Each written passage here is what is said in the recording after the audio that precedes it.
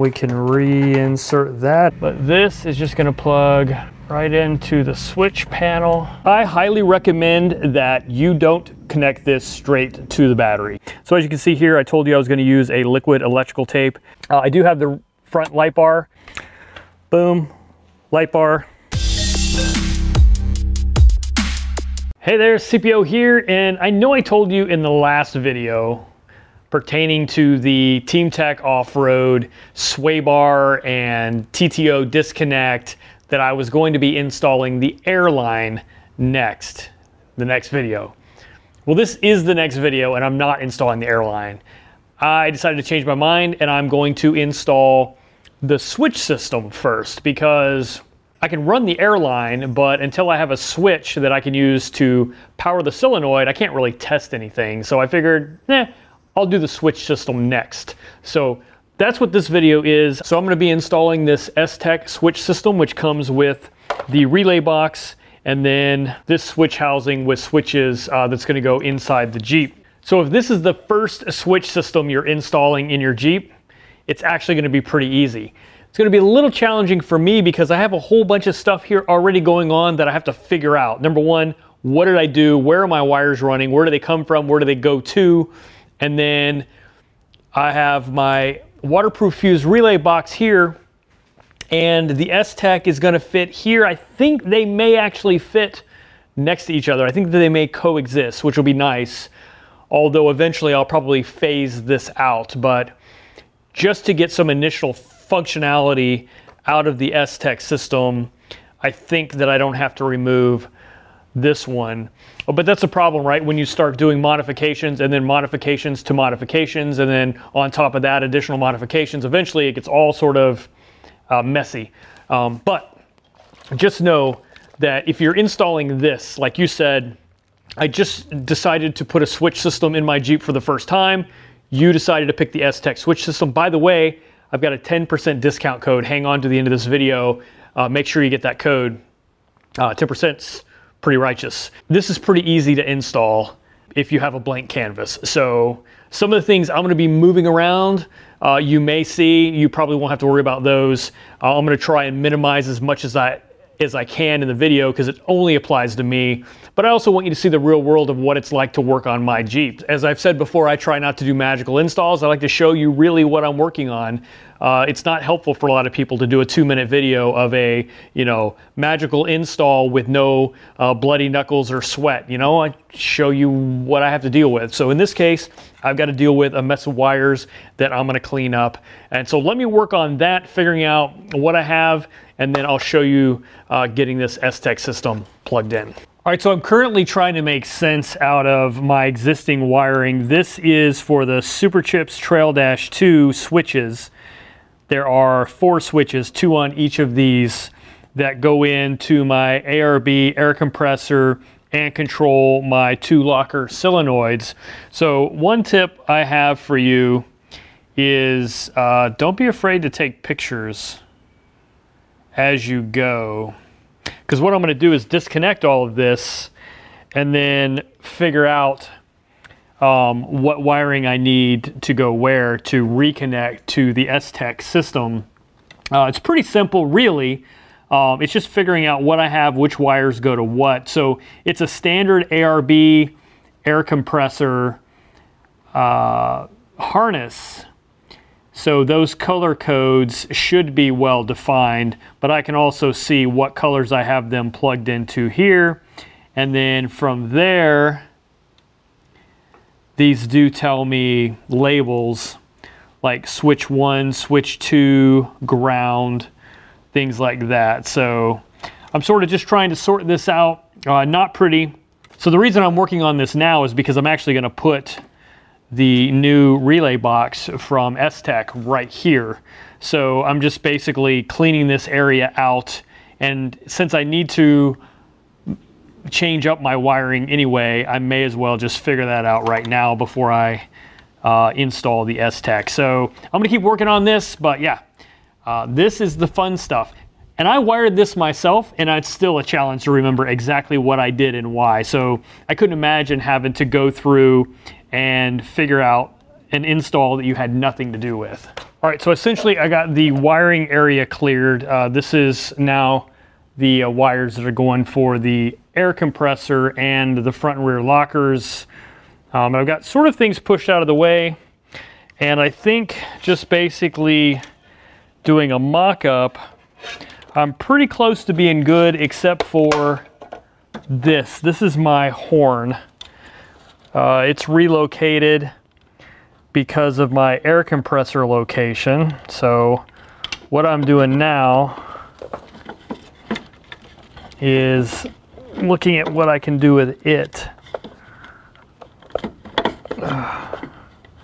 And I'm not sure if there is anything I can easily do with it or not. But I think getting that out of the way frees me up nicely. So I'll see if I can reintegrate that horn back into the mix. But for now, I can clearly see that my S-Tech box is going to fit nicely in here, even next to the other relay box. So, yeah, that's good. So you may be wondering what this yellow thing is. This is actually my differential breather tube for the front diff. I made an extension using air hose. So, and it's coiled the way it is so that it could be a pain in the butt to get out. No, it's coiled the way it is so that if water does get into this top area, it'll come in, it'll have to go through several curls before it goes down into the differential. So that's why that's there. Um, there's plenty of places I could put this. It doesn't have to go right here. I just have it up as high as I can. I'll play with that later. I think that this is something better left to figure out after the fact. But again, it goes to show you um, there's sort of a butterfly effect. You make one change, which impacts another change, which impacts another change, and then going back and trying to redo things, uh, it can can be a little bit challenging. But with a little bit of patience and creativity, pretty much any of it is overcomable. All right, so on this S-Tech relay box, we basically have three bundles of wires and then one smaller ground wire. The smaller ground wire is going to go here uh, to this grounding post. The very short bundle, which is this one, is your outputs for your various accessories. So when I want to send power to a solenoid, I'm going to send it from one of these. So that's nice and short. So you basically you're going to run all of your wires, light bars, lockers, uh, sway bar, uh, all of that stuff is going to run to here. Then you have two really long bundles of wire. One of them is going to go to the battery side, and then one of them is going to go inside the Jeep for the switch panel. And so it's important to sort of figure out how you want to run those in advance. Obviously, battery side, I'm going to run along the firewall here uh, with all this other stuff. And then this is going to dump in. There is a grommet underneath here. You can't see it. It's there. Actually, if you go to the S-Tech install video, they did a great sort of view without an air compressor, but there's a grommet in here in the firewall that dumps down. And it's where I've run most of my wires lately because um, all my side ports are sort of already filled or not accessible. So this can go down and then this is gonna end up sitting right about here. So this S-Tech bracket, I'd actually give you uh, a cool little red piece that's zip tied in place just to sort of hold it so you can see how it's going to go. This is going to mount to there and then that's going to mount just like that. So first thing we need to do is mount this to the bracket. They do give you all of the hardware you need to accomplish this and a really great instruction manual. Uh, probably one of the better instruction manuals I've ever seen. However, with that said, you do need to go to stechswitch.com and look at the updates. But he will update the manual from time to time with new information, either based on consumer feedback or installation feedback. Uh, may tell you to change something or what have you. But he has it pushing like that. Honestly, I, I'm gonna reverse this from what's in the manual because this is the part you'll see from the outside. So I'm gonna make that the cleaner look.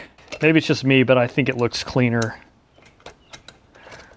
Instead of seeing the bolts coming through the nut, you'll see just the, uh, the bolt heads. Oh, I see what's going on here. This is an updated bracket design from what's shown in the manual.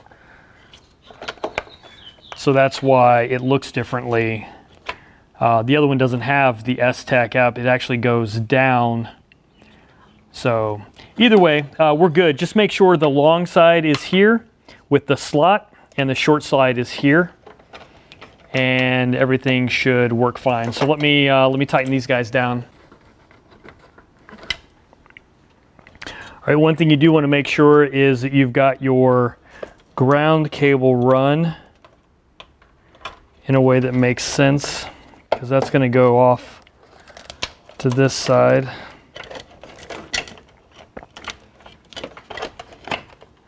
Will slide right underneath there. That's perfect. All right, so this one you need to remove all the way. And then this one, you can just slide it under, just like that. That looks really clean. All right, I'll add that into there. All right, let me catch you up to where I'm at right now. So I've pulled the S-Tech uh, box off again because I ended up remounting this horn. Again, this is relocated. It normally goes back here, but because the air compressor, it was pushed forward. I drilled a new hole in this bracket that allows it to sit and play nicely um, in the mix instead of interfering. So I had to take that off so that I could put the nut down below. And then while I'm at it, I'm gonna go ahead and run this um, wiring loom, this bundle here. All right, so I told you that there's a um, place to get in through the firewall right here underneath the brake um, booster. So this is the wire that I already have coming through. I'm gonna pull out. This was for the Trail Dash 2 switch system. So I'm gonna pull that out. When I pull that back through, I'm gonna go ahead and attach this to it with some tape so that when I pull it through, I'm basically using it to also pull my wire bundle through at the same time. There should be plenty of room for that to fit through. So it's kind of hard to show you, but I just want to give you a frame of reference of where it is in relation to the wheel well. All right, so uh, I've got to remove this centerpiece, which is kind of easy for me because I already have the corners gone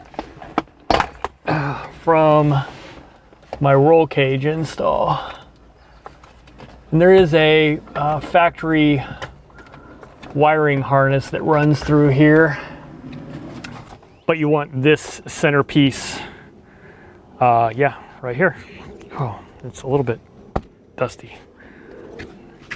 And then also note this notch here is what faces forward and up. So you're looking at it like this. So your switches are going to be like this. If you do it upside down, you'll probably be sad. So, but I think the template covers that. All right, guys, so this is pretty important. So pay attention. This is the template that came with my switch system in the box.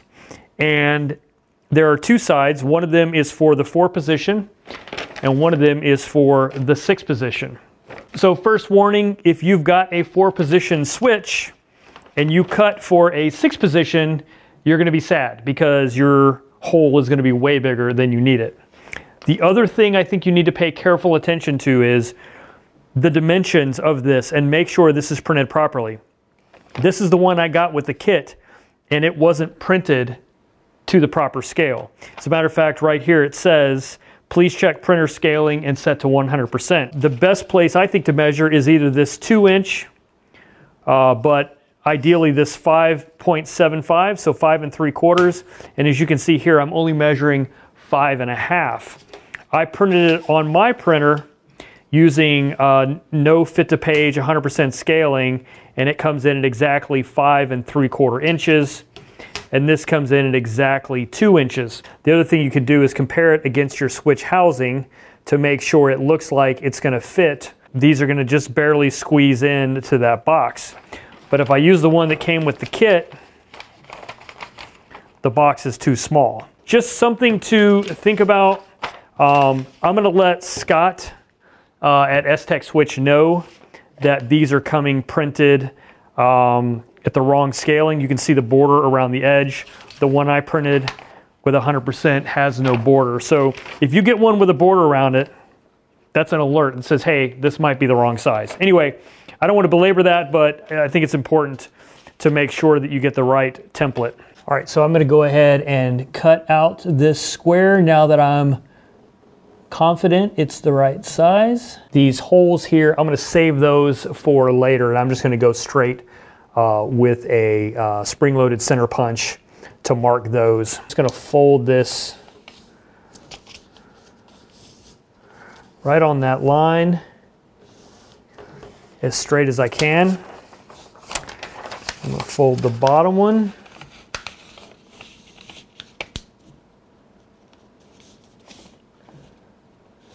That line as straight as I can. All right, now we're ready for the trim piece.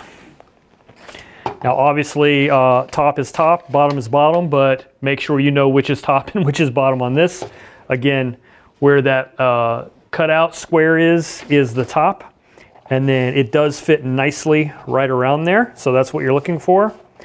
And now what I wanna do is center this between these two so find a point of reference. Three and a half. By golly, I think I just nailed it. Perfect. All right, so I realize measuring the center between things sometimes gives people a little bit of consternation because it's challenging to figure out where you're measuring from, to, to where to, and then how do you get it consistent on each side? You know, your, um, your ability to identify that um, will make this more centered. Now, to be fair, you can spend as much or as little time as you want doing these little things. Here's a little trick I used for this one. This is just a zip tie. You'll see I ended up with a couple of marks on it. This first one was my initial mark, and then my final measurement mark was there, and I'll show you why. I'm also using the center punch just to sort of push in the top of the zip tie just to hold it in place and I'll show you where I'm doing that. So you have these little slots here that appear to be equally uh, placed in the two uh, sun visor mounts. So what I'm doing is I'm just putting the head of that zip tie into that little catch um, and then basically I'm just using this to hold it so it doesn't pop out as I pull it tight. And then as I pull it across you can see where that mark hits right here on that hole, right? So that is my measurement for this side. And then all I'm doing is I'm flipping the entire thing around and then pulling the measurement on this side. And you can see I get the same alignment as it pertains to that hole. All right, so after I did that, I just uh, taped it down so I didn't lose the positioning, making sure that you know, everything is flat. And then from there, I'm going to just trace. The other thing I'm going to do is just take this hole punch here and put it in the center of that hole, which will give me a nice identifier to drill. All right, now I can remove my template.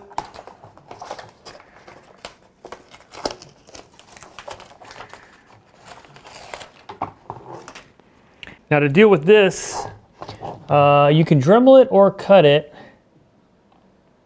I'm gonna cut it with a razor.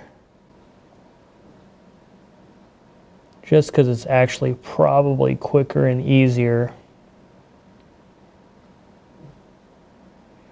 I'm on the outside of that line I made because that's where the edge of the paper was.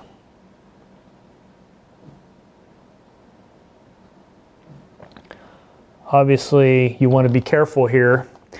Um, probably any mistake you made will be covered up, so not super critical. I just wouldn't accidentally shoot the razor knife across the entire face of this. Uh, that might be bad. And then you'd be sad. A lot of things can go wrong and make people sad. So let's just avoid that if we can right?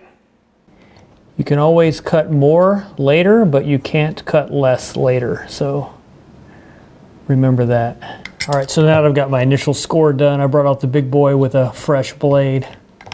All right, there's the finished look, and you can see still have this post, which is gonna help clip in. All right, you can do your test fit, do any additional trimming as necessary. I think that's pretty darn good. All right, so these are 9 64th inch holes.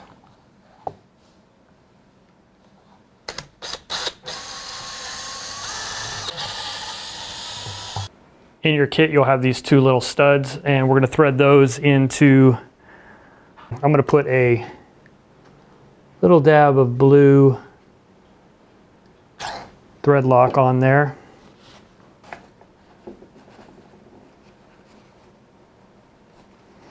I'm okay if this is hard to remove.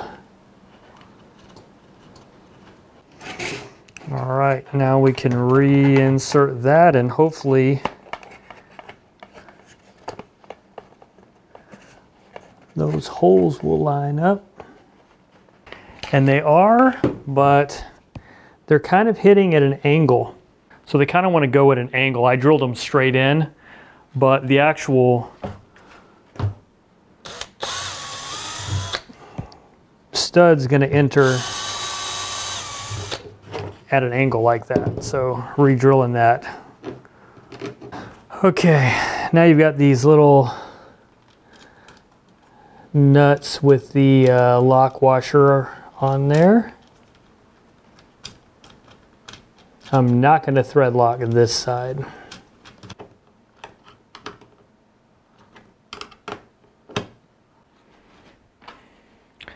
All right, boom, there we go. Ready to go back in the Jeep.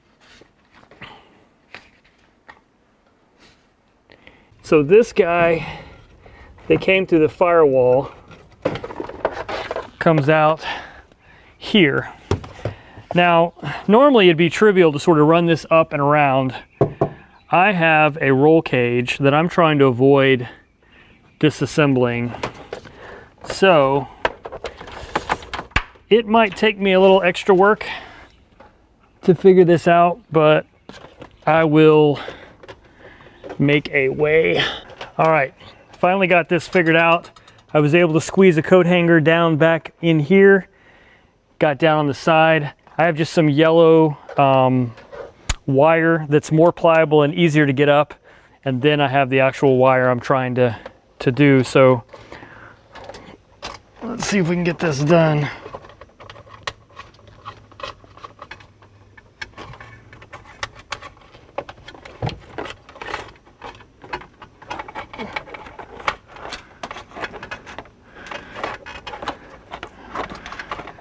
All right, so the yellow wire's through.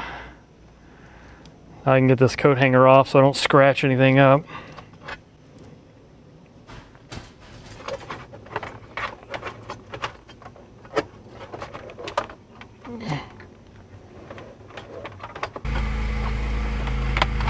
Ah. All right, there we go. Now I can get this yellow wire out of the mix, put that back in the toolbox.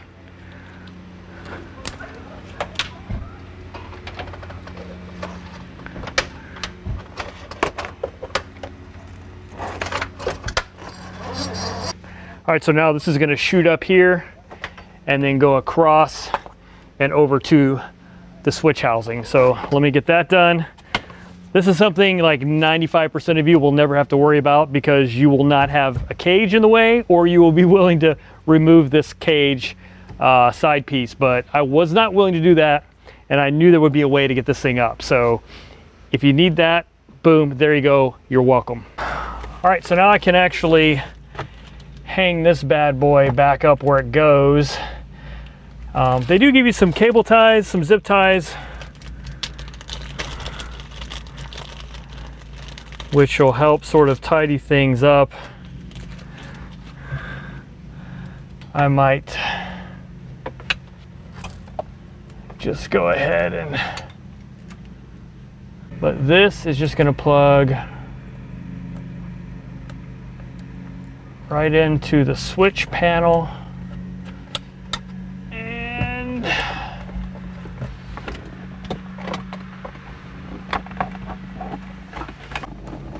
think that got it.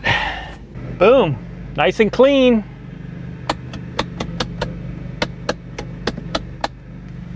All right, next. All right, so now that we have the switch housing installed in the interior, now it's time to finish up the exterior. So I'm gonna run this power cable across to the battery and fuse box. And then the last thing we have to do is actually uh, add stuff to our outputs. So anything that you connect to these output wires is gonna get 12 volts whenever you flip the switch. Uh, and there is one special wire here that I want to talk about, so hopefully I don't forget. But first, I'm going to run that over to that side of the Jeep. And I'm going to do it by running it along existing wiring looms and use zip ties to uh, secure it to the existing runs. All right, so I highly recommend that you don't connect this straight to the battery. Um, I would recommend you use a fuse or a resettable circuit breaker uh, reasonably close to the battery. And here's why. If you connect this straight to the battery, you've got a run of wire, looks to be about maybe 10 feet before you get into the fuse box. Now that S-Tech uh, fuse box there that's going to protect all of the circuits that are coming off of that. So all of those circuits are fused. So from that point, you're protected um, if there's a short in one of those wires that you have connected to that. However, if there's a short anywhere along this wire, you're not protected to the battery. Say you get into a, a crash and your hood crumples up and cuts into this wire. I mean, it can really happen um, cuts into the wire. You're now shorted to ground. You have direct 12 volt battery power going from the battery straight into wherever you've shorted to ground, let's say the hood in this case. And all that's going to do is heat up and catch fire and burn your Jeep to the ground. So the reason we put a fuse in there is so if that does happen, when that shorts to ground, it'll trip the fuse and protect you. So you want to be as close to the battery with that fuse as possible. You're only protected with the wiring after the fuse, not before it. So anyway, highly recommend it. Uh, you can get the fuse uh, breakers. I got this one, this is 60 amp. Uh, I got it from uh, S-Tech when I ordered my kit, and I believe uh, it's gonna be an option to include either this or an inline fuse like I have back here. Um, I like the resettable ones because you don't have to worry about keeping track of fuses. If it blows for some reason, uh, first of all, figure out why, uh, and then after that, you can also reset it. Um, now, where you mount this is going to be up to you. That's sort of the challenge, right? Is figuring out how to creatively get all this stuff packed in underneath the engine compartment.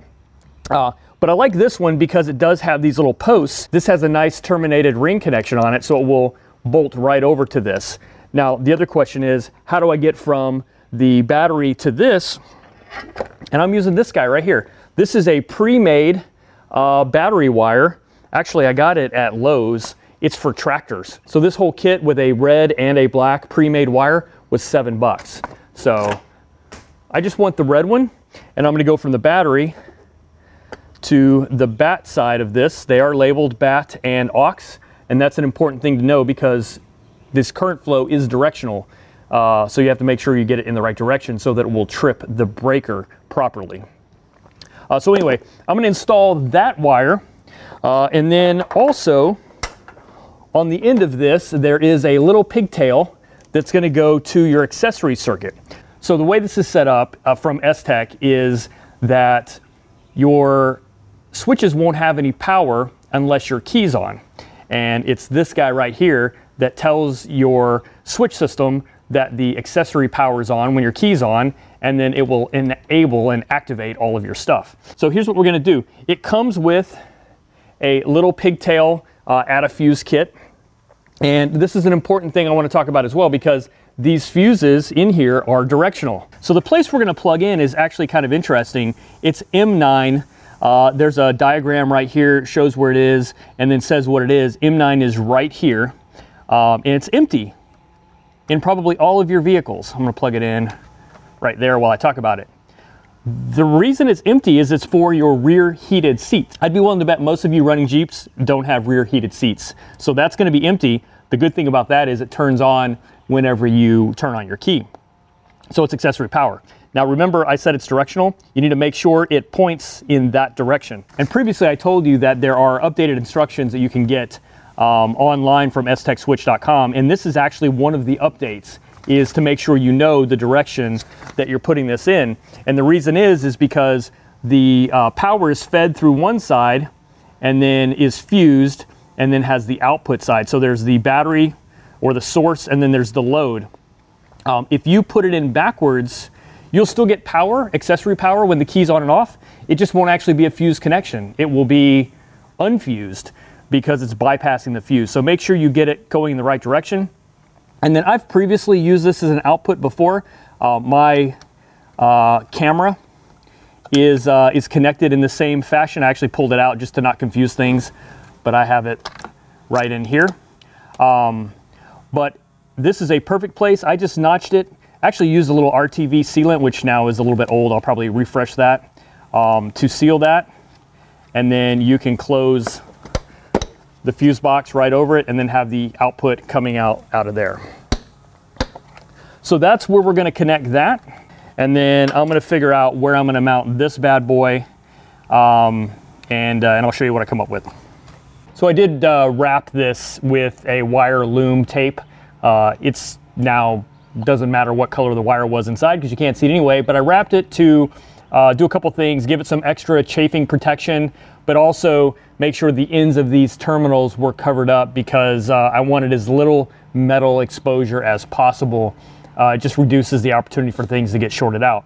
Now, one other thing I did want to mention, the end of this, right? So if you decide to use a different connector and cut off this ring terminal, uh, you're going to find out something actually quite interesting. This is not a single solid wire uh, running through like you might expect. This is actually six individual wires that feed individually those circuits in the S-Tech uh, switch box. And so if you cut this, um, just know that you're going to have to uh, strip and recrimp in the bundle of wires. And I talked to S-Tech Switch about this, and uh, he said, yeah, it helps keep costs down.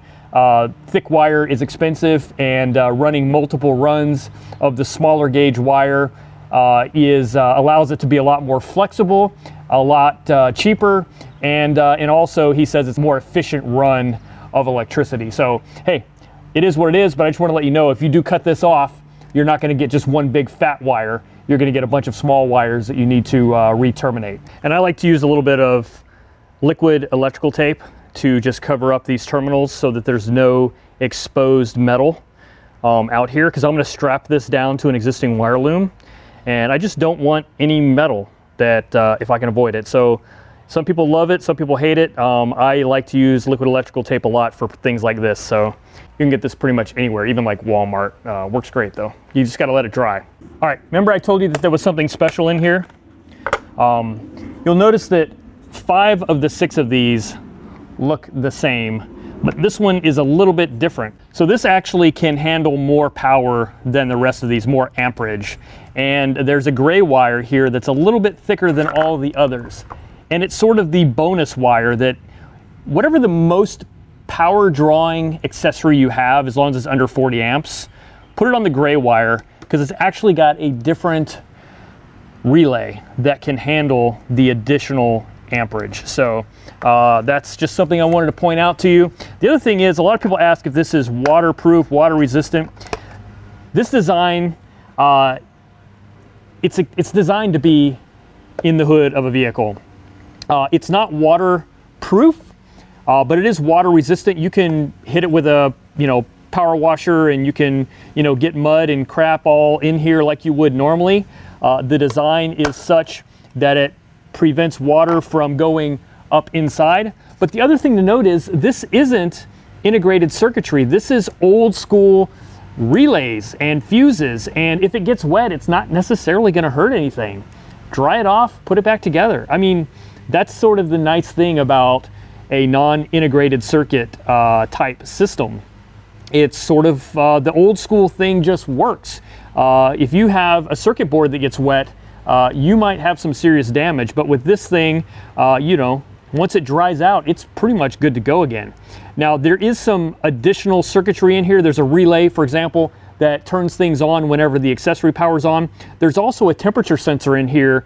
So if for some reason it gets way too hot and starts to overheat, it will actually trip the circuit and uh, shut everything down until the temperature drops. So there is some additional safety features in here I'm not entirely aware of. It's all down in here. But I do know this, with the lid on, go out, use your Jeep, wash your engine compartment. It won't matter. This should not be bothered at all by it. All right, so I'm using the manual here to identify the colors that go with the different switches. And then I'm looking at my switches to find out which wires I need to wire where.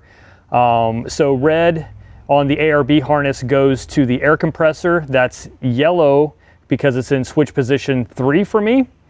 Um, the ARB air compressor yellow one is what I have going to the front locker and that's switch position six, so that's done. And then the rear locker is switch position four for me. Nope. The rear locker is switch position five for me. See, this is why you got to verify. And let me show you what I'm doing here, by the way. Um, these are pretty small wires and these are pretty big connectors. So rather than uh, changing that up, I'm going to keep using the existing connectors. But what I do is strip off a fairly significant amount and I just fold it in thirds. That gives me a pretty big chunk to bite onto. Uh, and then when I crip it down, it'll get a good seal.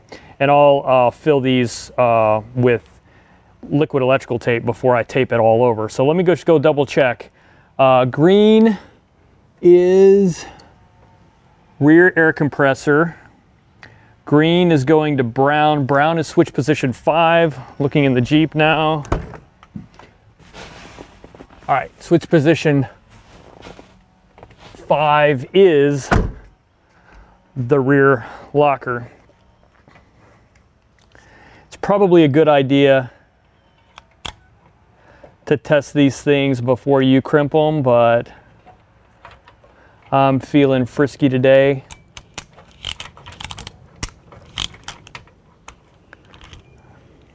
And you can see because I did that trifold, it's got a pretty good bite on it. All right, the orange one is gonna be my new sway bar disconnect, which I don't have a solenoid for. And then white is gonna be my front LED, green is gonna be my rear LEDs. Now I do have this extra black wire coming out of my ARB harness, and that is going to be a ground wire.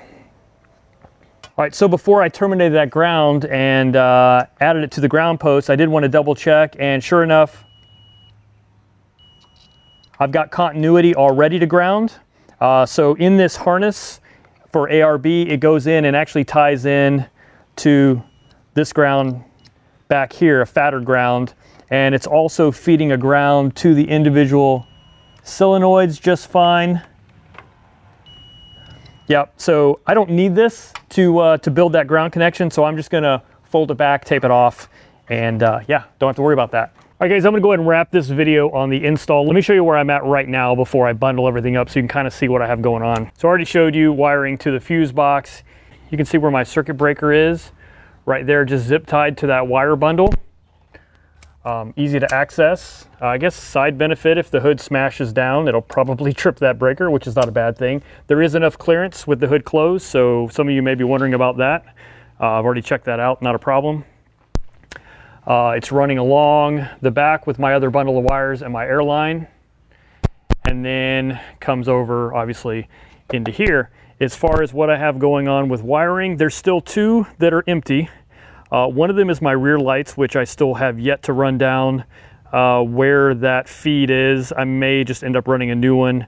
Uh, the problem is my rear lights are fed right now from this and they're through the firewall and then down along to the backs. So when I have a chance, I'll try and figure out where it comes out of this and uh, and figure out which wire that is and then and then splice in like that. That's how I did the front light bar.